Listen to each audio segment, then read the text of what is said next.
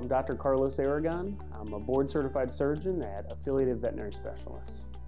I did my veterinary school at Colorado State University, which has the number one cancer center in the world. I ended up applying early because I had all my requirements done and got accepted to all three vet schools I applied to at the age of 19. Then I did my one-year internship at the University of Georgia, my surgery internship actually here at AVS. And then I got a great opportunity to go back to University of Georgia and teach students uh, surgery. Did my surgery residency at MedVet in Columbus, Ohio. Three-year program. After all that, became a board certified surgeon. Brad McKenzie is the other owner of AVS, along with myself. His strong suits and my strong suits mesh well together.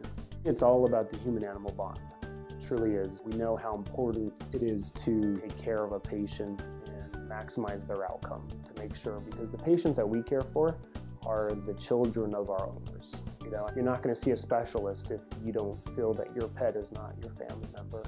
I think something that sets AVS apart from other specialty hospitals and private practice is that we have a board certified anesthesiologist part of your pet's care. You know, that's very rare in, in private practice. Anesthesiologists maximize not only the quality of the anesthesia, the monitoring. Our patients are hooked up to heart monitors and blood pressure monitors and breathing monitors, temperature monitors. I mean, we watch everything because anesthesia is only as safe as the, as the degree of monitoring.